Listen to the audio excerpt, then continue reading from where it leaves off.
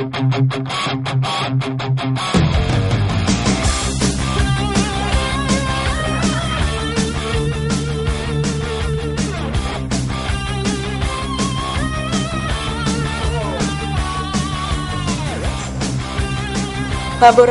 Surveying dan Geodesi jurusan Teknik Geomatika ITS merupakan laboratorium untuk penelitian dan aplikasi di bidang pemetaan, misalnya rekayasa seperti topografi, irigasi, jalan, bendungan, dan lain-lain. Salah satu alat yang digunakan dalam kegiatan lab tersebut adalah teodolit Teodolit merupakan alat ukur tanah untuk menentukan tinggi tanah baik secara vertikal maupun horizontal. Dalam pekerjaan bangunan gedung, alat ini sering digunakan untuk menentukan sudut siku-siku pada perencanaan fondasi. Berikut ini cara penggunaan teodolit.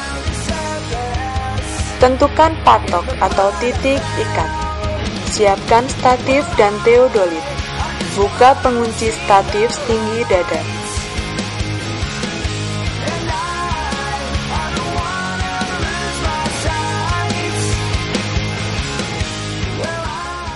Letakkan tepat di tengah-tengah patok hingga terlihat dari kepala statif. Datarkan statif dan kencangkan agar tidak longgar. Setelah statif berdiri sempurna, keluarkan teodolit dari box.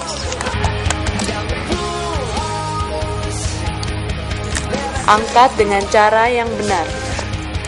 Pasang di atas kepala statif dengan mengikatkan landasan teodostik dan skru pengunci. Setel nivo kontak dengan cara memutar skrup A, B, secara bersama-sama hingga gelembung nivo bergeser. Putarlah skrup ke kiri atau ke kanan hingga gelembung nivo bergeser ke tengah.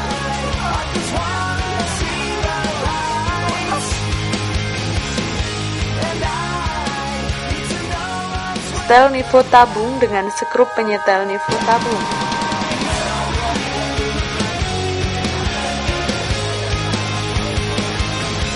Lalu putar teropong dan sejajarkan dengan dua skrup A, B.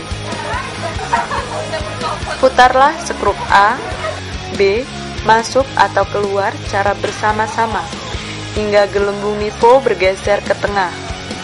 Putarlah teropong 90 derajat ke arah garis skrup C. Putar skrup C ke kiri atau ke kanan hingga gelembung nivo bergeser ke tengah. Periksalah kembali kedudukan gelembung nivo kotak dan nivo tabung dengan cara memutar teropong ke segala arah.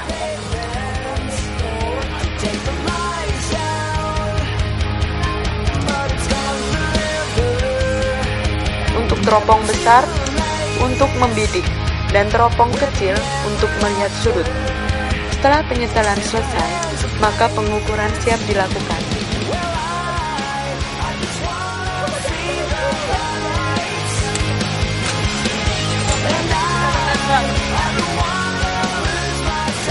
Lepas skru pengunci, ambil teodolit dan letakkan ke box kembali.